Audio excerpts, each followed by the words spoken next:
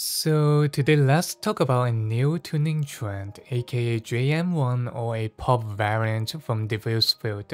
Since there's quite a lot of fuss and discussion about it, and as a proud owner of one of the representatives of the tuning style, I feel like it's time to throw my two cents on the board. But before that, let's talk about the difference between the new tuning trend and the ever famous Harman style. No, I will not throw a thesis down here.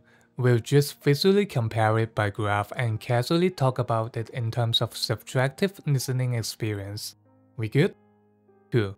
Here's the comparison between two of the most famous earphones in their respective tuning spectrum, with the variation on the Harman side and Da Vinci on the new tuning side.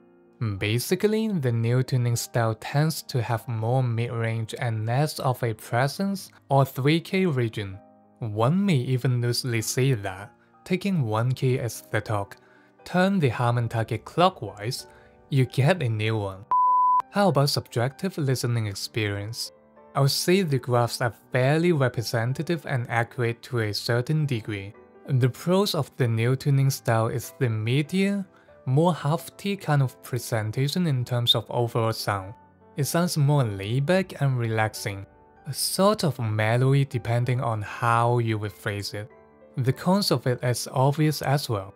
It's less contrasty or vibrant than Harman tuning. Some may experience bloomy bass and overshadowed vocal, if they don't have a perfect ear tips match or if they are listening to sound that is not mixed or mastered well. Now here's the main topic that I want to discuss and talk about. Is the new meta tuning an expensive tuning style? Here's my two cents. Unfortunately, at the current stage of late 2024, I think it is. Don't get me wrong, I think the new tuning style is a very ideal tuning I really think it is.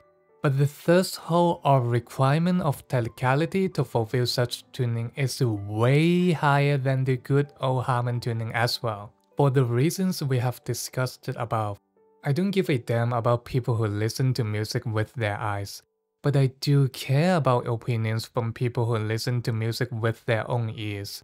You can easily spot the dissatisfaction with the new tuning style from genuine customers not from journalists or sales from different companies, especially when the technicality seems to be on the no side.